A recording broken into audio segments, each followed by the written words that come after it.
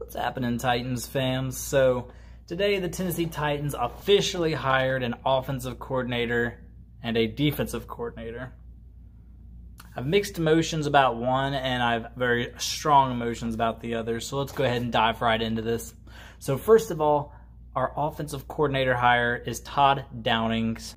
Originally, he was our Titans coach, which, you know, Arthur Smith was our tight ends coach and Obviously, we had a really good offense two years in a row under Arthur Smith.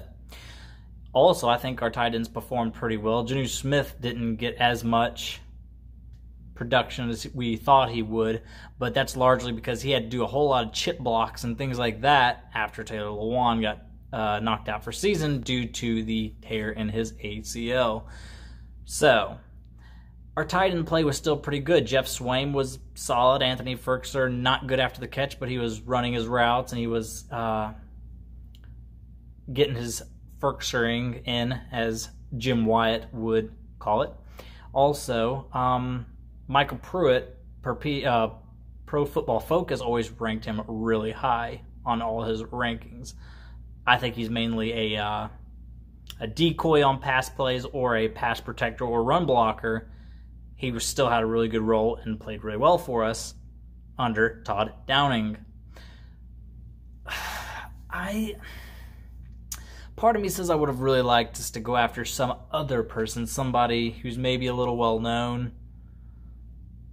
Like maybe even at, offer the Chiefs offensive coordinator, kind of the same way we did with Matt LaFleur. Matt LaFleur was already offensive coordinator, but he wasn't calling the plays because he was working with Sean McVay with the Rams. So we took him over, said you can be our offensive coordinator, but we'll let you call the plays. So he he jumped ship and did that, and obviously a year later he got hired head coach. So maybe the same thing would happen if we uh, went after the Kansas City Chiefs offensive coordinator. Because I think Andy Reid does the play calling down there, but we didn't do that. There were some other names that you know kind of came up who were unproven, but they were young and had a good future probably ahead, but they would be flyers. They'd be chances would be taken. I would have liked to see some of that. And if in in-house hires, I probably would have preferred Pat O'Hara, our off our uh, quarterbacks coach, because let's be honest, Ryan Tannehill just had his best couple years of his entire career with the Titans, and you know Sean O'Hara works with him. I'm sorry, Pat O'Hara works with him on a day to day basis. So I would have liked to see that, but we want Todd Downing. I'm not completely upset about this. Now, like if we had gone out, a lot of people were saying Keith Carter, our offensive line coach, would have been someone we could have gone to. I'm not sure. I'm not really feeling that one too much. A lot of people were saying, actually, I don't think anybody said anything about our wide receiver coach. We've had nothing but either failed or no name wide receiver coaches our entire uh, Titans existence, as far as I can remember.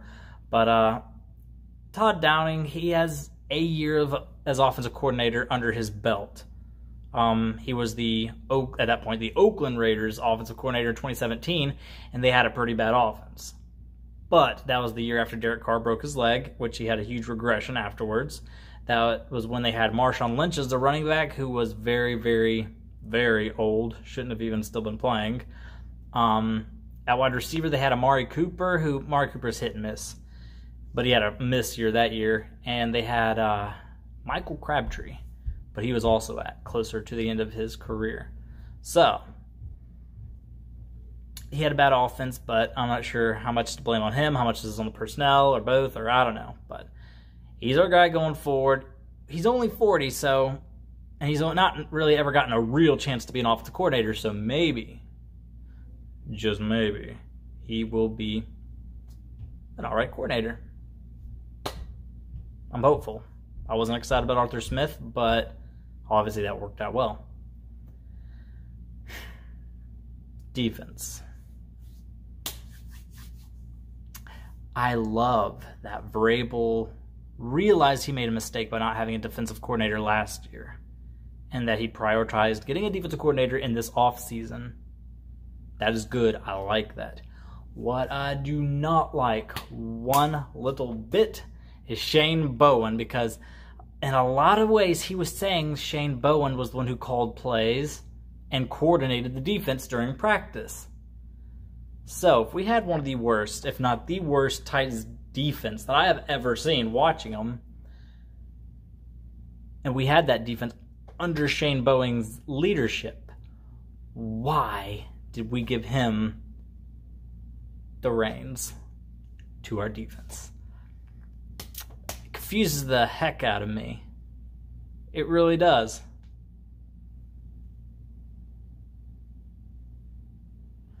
The only hope we have when it comes to that is maybe Vrabel was given too much two cents, too much of his two cents here, there, and yonder, and uh, Shane Bowen did not feel 100% comfortable, you know, being a leader in front of his troops, perhaps. I don't know. So maybe Vrabel's like, all right, the defense is yours. Maybe Vrabel will take a little bit of a step back. Maybe, just maybe, Shane Bowen will be a little more bold. I hope. I hope. Because not only did I not like what he did last year, he's our out, outside linebackers coach. Our outside linebackers have been underwhelming under him. So I didn't see him doing anything good as a position coach. I did not see him doing anything good as a semi defensive coordinator last year. So why, of all people, did he get the promotion? I really, really, really, really, really don't understand it, especially when you got people like Wade Phillips who's jobless, and uh, honestly, anyone else. I would have even taken other people on our defense. Heck, bring back Kerry Coombs. I think he went back to Ohio State to be their defensive coordinator. How about he come to Tennessee to be the defensive coordinator? But at this point, it does not matter. I will hope he does well now that he's officially our defensive coordinator. But uh, he better be drawing up some real nice blitzes and schemes or something to win my respect. Because right now, I would give the offensive coordinator hire a C plus. I'd give the defensive coordinator a D minus. I don't think you can just say F to start off, but D minus, maybe D if I'm feeling generous. So uh, we'll see how it goes, and uh, yeah, I guess this is, does it until next time. Peace out and all that jazz.